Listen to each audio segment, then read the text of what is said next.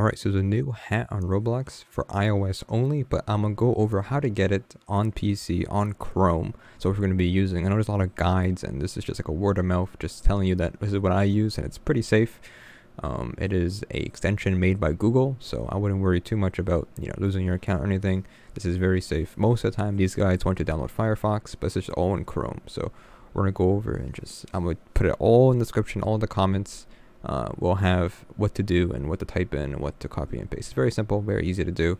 So let's go ahead and uh, do that real quick. So first things first, you want to go ahead and check the hat. This is the hat if you want to see it. This is, we're talking about the black pumpkin cat shoulder pal. We can't use it. We can't get it. It's blank. It's impossible to get it right now. We don't, we're not on iOS, obviously. So you're to go ahead and click on and go to the Chrome web store, which will I will link. You want to type in or like we'll have it as well, user agent switcher. The one we'll be using is this one over here. This one is made by Google and it's the most trusted one out of all of them. As you can see here, by Google, developed by Google. So make sure you get this one.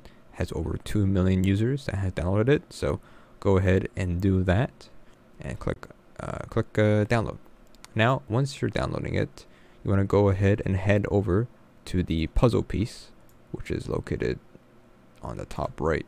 And the best thing to do is probably just pin it to your to to you. So click pin, and then what you want to do now is right click on it, click on options. Now we're gonna uh, put in the custom string here so that we can actually change it to uh, an Apple uh, Apple iOS web browser basically. So what we're gonna do is we're gonna we're gonna delete this. So this is what we normally need to do. So this is the notepad here I said, I'll have it in the description in the comments. You can just copy and paste it. So you click copy, right? And what you want to do is click up here, this first uh, text box. You want to type in a name. I name mine Apple, just make things easier. Then we're going to go and copy and paste what from the notepad from the comment from the description into here. Click on group, which just does iOS automatically. Don't need to change anything there. And then you need an indicator flag, which is just type in IP, which is, doesn't matter. I just it means iPhone click add and there you go. You've added your apple uh, one there. Now we're gonna go ahead back to the pumpkin cat soldier pass shoulder pal. I'm gonna go ahead and click on the extension but left click. Now we want to hover over to ios.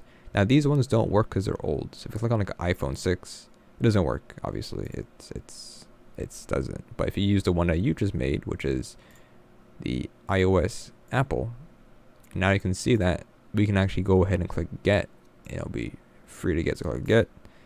And there you go. We have gotten the pumpkin black shoulder pal. And I'm going to go ahead and click on Chrome and go back to default. So you know, you just reset it back to normal. Now we go to our inventory. You can see here, we can go to our shoulder. And there we go, pumpkin black cat. That is um, now in inventory. And now we own it. So there you go. Now, if you don't want to have this extension on all the time, you can go ahead and click on, right click on it and click on manage uh, extension. And then you can just disable it pretty much and there you go. Or remove it but if you remove it then your custom settings will be gone and you have to redo the entire thing again. That's not hard to do honestly but this is for ios. You can do android as well but uh, there's some extra steps with it with android kitkat but you can try it if you want.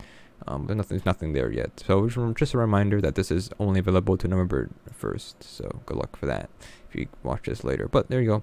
Let's get the shoulder pal uh, very easy to do. Um, only works for chrome Mean, you can do Firefox as well as videos for that already, but that requires some extra steps. And if you already, I mean, you're already using Firefox, that's fine, but it's it's not that hard to do on Firefox. It's just this is just a built-in extension, which you just have it saved forever. And I mean, Firefox is saved forever too, but you want to delete the Firefox one because you don't want it enabled all the time.